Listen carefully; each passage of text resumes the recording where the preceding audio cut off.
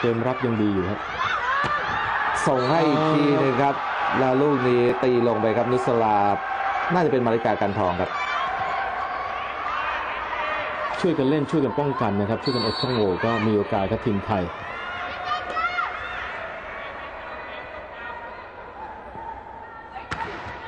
อืมอันนี้เสิร์ฟดีเกือบทุกคนนะครับไทยเราต้นเกมโบ้มาหลุดลูกนี้ครับ ป้องกันไม่ทัน ตีเร็วครับอิริกะอากรากิ และตีแล้วหักข้อเข้าใน ตีแหวกบล็อกลงมาเลยด้วยนะครับ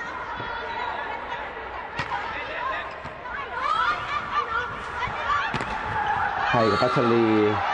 แสงเมืองครับ ตีลูกนี้ลงไป นี่ครับ เดี๋ยวก็คงเปลี่ยนลงมาเล่นนะครับ แต่ช่วงขณะที่กำลังรอเปลี่ยนลงมาเล่นนี่ก็เชียร์ครับ เห็นบรรยากาศเห็นความรู้สึกแล้วอารมณ์อย่างนี้ น่าจะเป็นนิมิตหมายที่ดีครับ ทุกคนยังกระปรี้กระเป๋าสดชื่น แล้วก็อยากจะเล่นครับ ลูกนี้วันดาบัวแก้วนั้นรับไม่ทันครับแม่เมื่อสักครู่เราขึ้นนำญี่ปุ่น 2 แต้มนะครับ แต่ก็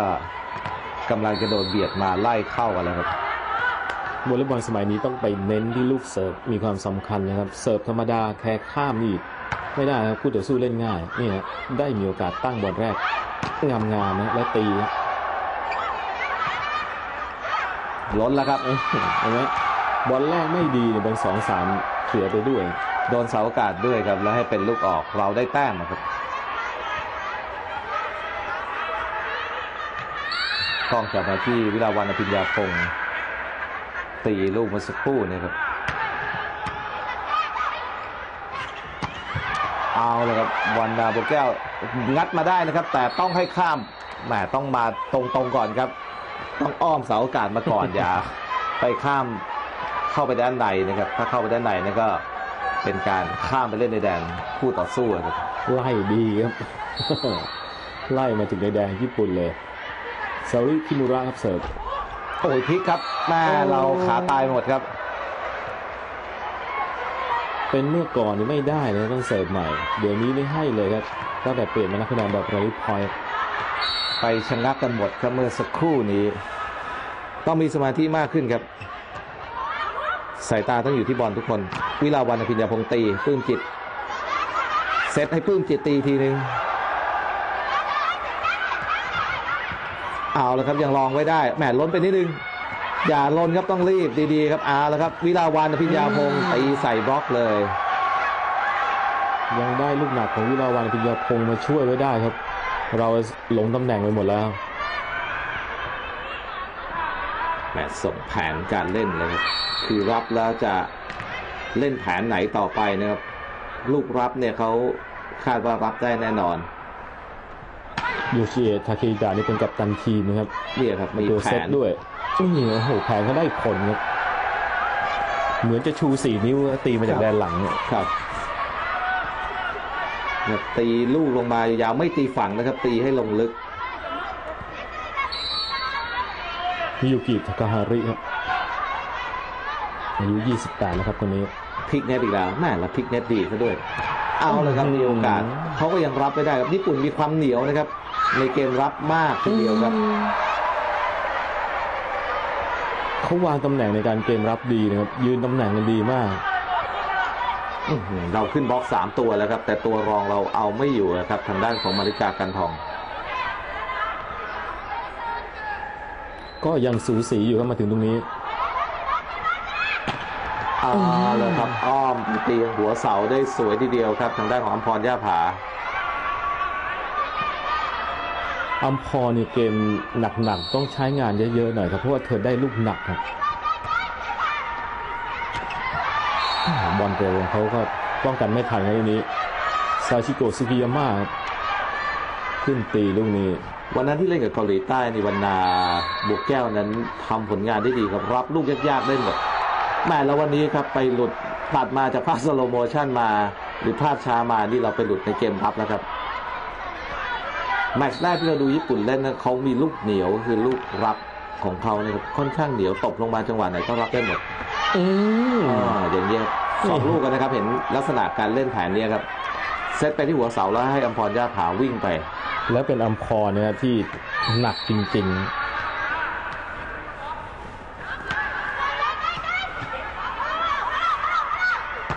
เอาแล้วครับเนี่ยบล็อกสามคนครับ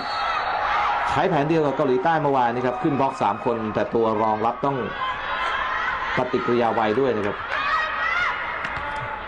ใครได้แต้มนี้ก็จะพักนะครับเป็นไทม์เอาท์เทคนิค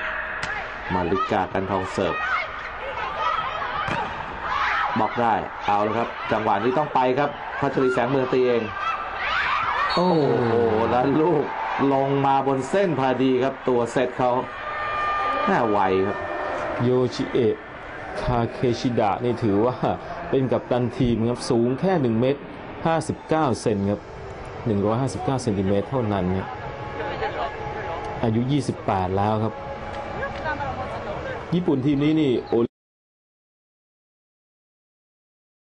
เกมรับยังดีอยู่ครับ ส่งให้อีกทีหนึงครับ แล้วลูกนี้ตีลงไปครับนุสลา น่าจะเป็นมาริกากันทองครับ ช่วยกันเล่นช่วยกันป้องกันนะครับ ช่วยกันอดช่องโหว่ก็มีโอกาสครับทีมไทย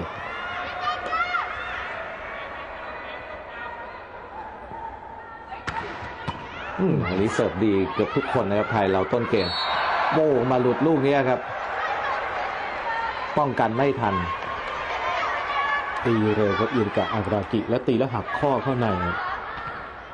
ตีแหวกบล็อกลงมาเลยด้วยนะครับ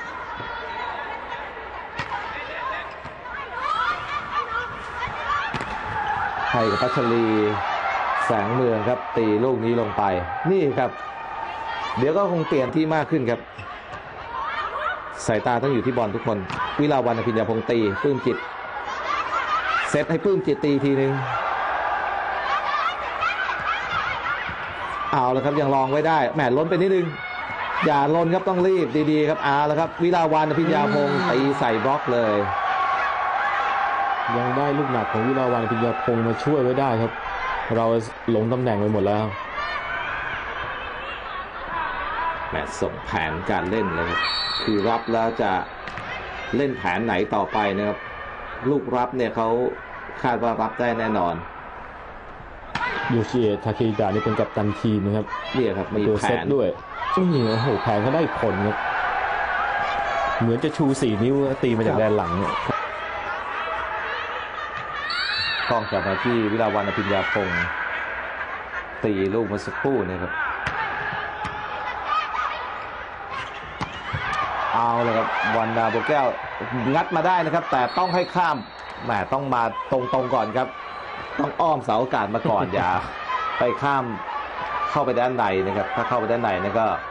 เป็นการข้ามไปเล่นในแดนคู่ต่อสู้ครับไล่ดีครับ ไล่มาถึงในแดนญี่ปุ่นเลยซาริคิมุระครับเสิร์ฟโอ้ยพลิกครับแม่เราขาตายหมดครับ เป็นเมื่อก่อนนี่ไม่ได้เลยต้องเสิร์ฟใหม่ เดี๋ยวนี้ไม่ให้เลยครับตั้งแต่เปลี่ยนมานักคะแนนแบบไรพอยต์ไปชะงักกันหมดครับเมื่อสักครู่นี้ ต้องมีสมาธิเนี่ยตีลูกลงมายาวไม่ตีฝั่งนะครับ ตีให้ลงลึกมิยูกิทาคาฮาชิครับอายุ 28แล้วครับคนนี้พลิกเน็ตอีกแล้วแม่ละพลิกเน็ตดีซะด้วย เอาเลยครับอืมมีโอกาสเขาก็ยังรับไม่ได้ครับญี่ปุ่นมีความเหนียวนะครับ ในเกมรับมากทีเดียวครับเขาวางตำแหน่งในการเกมรับดีนะครับ ยืนตำแหน่งกันดีมากอื้อหือเราขึ้นบล็อกสามตัวแล้วครับ แต่ตัวรองเราเอาไม่อยู่นะครับ ทางด้านของมลิกากันทอง ก็ยังสูสีอยู่ครับมาถึงตรงนี้เอาเลยครับอ้อมตีหัวเสาได้สวยทีเดียวครับ ทางด้านของอัมพรย่าผา ลงมาเล่นนะครับ แต่ช่วงขณะที่กำลังรอเปลี่ยนลงมาเล่นนี่ก็เชียร์ครับ เห็นบรรยากาศเห็นความรู้สึกแล้วอารมณ์อย่างนี้ น่าจะเป็นนิมิตหมายที่ดีครับ ทุกคนยังกระปี้กระเป๋าสดชื่น แล้วก็อยากจะเล่นครับ ลูกนี้วันดาบัวแก้วนั้นรับไม่ทันครับแม่เมื่อสักครู่เราขึ้นนำญี่ปุ่น 2 แต้มนะครับ แต่ก็ กำลังจะโดนเบียดมาไล่เข้ากันแล้วครับวอลเลย์บอลสมัยนี้ต้องไปเน้นที่ลูกเสิร์ฟมีความสำคัญนะครับเสิร์ฟธรรมดาแค่ข้ามนี่ไม่ได้ครับคู่ต่อสู้เล่นง่ายนี่ฮะได้มีโอกาสตั้งบอลแรกงามๆนะและตีล้นแล้วครับเอ้ยเห็นไหมบอลแรกไม่ดีเนี่ยบอลสองสามเสียไปด้วย โดนเสาอากาศด้วยครับแล้วให้เป็นลูกออกเราได้แต้มอะครับ